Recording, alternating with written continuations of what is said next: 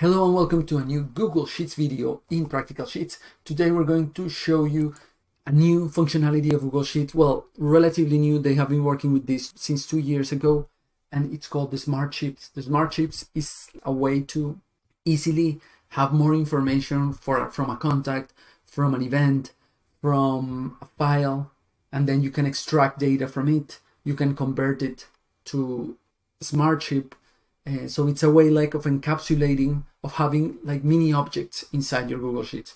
I think this will have some future and potential and I'm going to show you why in this video. But before we start, please consider subscribing to my channel or going to the Patreon page where we can talk more and uh, have access to the templates and much, much more. Thank you so much. So let's begin.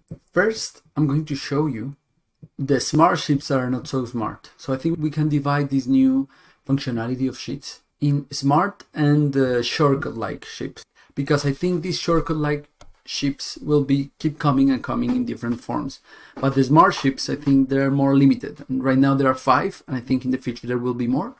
But let's begin with the easier ones. So I'm going just to to extend this this thing a bit so you can see much much better. So the first one, maybe you've already experienced it, is when you one of the ways in which you can call the smart chips or the chips is with the add key. When you put the add key, then you see this weird menu with a lot of things. Okay, so the first thing I want to show you is that you can call some kind of shortcuts. Right now we only have two. The first one is a drop down. So you start writing drop down. Again, I'm going to do it again because I already started. I think it, it lost its power. So I start to write drop down and then I have this suggestion. I'll hit enter and then immediately I have a drop down. I've, I've discussed this in tens of other videos. So then you could do the data validation and you could uh, adjust and customize your drop down. But the nice thing is that you very easily with just writing at and the drop down, you can do it. So this is the future of this kind of very, very quick shortcuts. And the other shortcuts are with the date. So again, I'm going to write at and start writing today. And again, you can see one once I write TOD, I have the suggestion of today's date. Then I'm going to hit end. Well, I, I mm, messed it, but again, we're going to do it again. At today, and I have the first one, I hit enter and I have today you would say, okay, but what is this different from doing control apostrophe? The same. Yeah, but for example, you could do tomorrow at tomorrow, and you could do yesterday at yesterday, and you could do date. You could do date, and you hit enter, and you have this smart calendar, this uh, mini calendar you normally would call with when you already had a date or with the data validation for date. So I think this is a pretty, pretty nice shortcut that again, I, I think we're just seeing the, the start of it, maybe in a year. So we're going to have much, much more. If, if this starts to catch, to catch on, then I think we're going to have a lot of more shortcuts. Okay, so this is the first kind of chips that are not really smart, but are really productive, I think so. Okay, so we've seen the drop down, we've seen the date, and maybe in three, five, six, 12 months, we're going to see much, much more of these kind of shortcuts. We are standing today at June 2023, and this is these are the two we have. Okay. So I'm going to to just drop a line so so I can leave it for the Patreons. I'm going to remove this validation. So here I'm going to write drop down and then here I'm going to write dates. And now it comes the fun part. The fun part are the smart chips so the smart chips are five different kind of chips that are not a it's a mix between a shortcut and much much more a kind of object. Carries with it a lot of information. And there there are five right now but in the past days google announced that there are that people and even the developers are going to be able to create new smart chips. So imagine you could do one for your company or you could do one for a specific app you use. I think Asana has it right now and other I'm, I'm sure Coda, Notion, some of that will have so you can start integrating such like a like API like an API, but that you can insert directly in your sheet. You don't have to program it, okay? Something like that. So let's begin with the easiest one, the one we may be using the most, that is the contact. So if I start writing an email, let's write an email. There are two ways. You could write at, and here you have some people you normally use. If you go to this uh, arrow, you'll see one of the emails. Another way is just to start writing an email. So I'm going to write my email. It's this one, one of my email, emails. Hit enter. And once I drove over it, then you can see that it has a lot of information.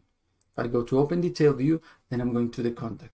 And if we do again at, and let's start writing our email, JS Guzman, and these and these are the same. The difference is that here is a bit more explicit that this is a, as a chip, but you can see that it's exactly the same things. So this is the first one, the contact. The nice thing is, again, it's like a mini application. Here you have, just by hovering over the email, you can see the name, the email, you can add it to your contacts, you can do a video chat, you can do create an event, you can send an email, you can go to the panel where you can see more about this contact. So this is the idea, that you can have little objects inside your sheet.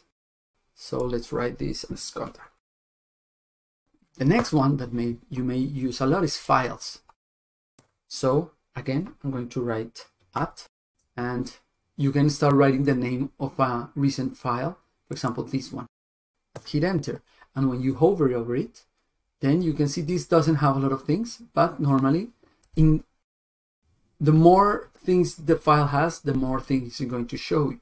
So it doesn't have to be a sheet. It could be a Google Doc. It could be a PDF. It could be any other things. And when you hover it, you're going to have the name. You can go to the file if you want or copy the link, or you can just see a screenshot of it. Then you can see who is the owner, the last changes, and we'll come back to this data extraction soon. Okay? Then we have the events. Again, I'm going to do at, and you can see down here that you have some events. These events don't have a lot of things, but the more things you have, the more it will show. If you have an attachment, if uh, the hour, uh, you can copy it. If you have the description and all that, and people invited, you can see all of these in just one mini screen. The fourth one is location. We're going to do at, and let's write, uh, I don't know, a Magic Kingdom. Here, Magic Kingdom. Click, and then you can have a mini Google map. You have the map, you can open the preview, you can go to Google Maps, you can see the address, you can see the direction. So it's a very easy way to connect very, very quickly for a specific instance because before you had a here this bar where you can go to contacts where you can go to maps where you can go to uh, events etc okay? But with this you can go very specifically to a specific contact to a to a certain file to certain event to certain location. This brings me to the last one that is finance. That is very specific but it's good to know that it is there.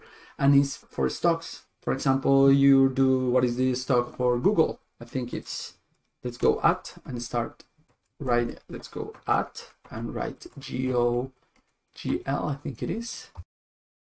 Here finance. And you have that is alphabet g o o g l.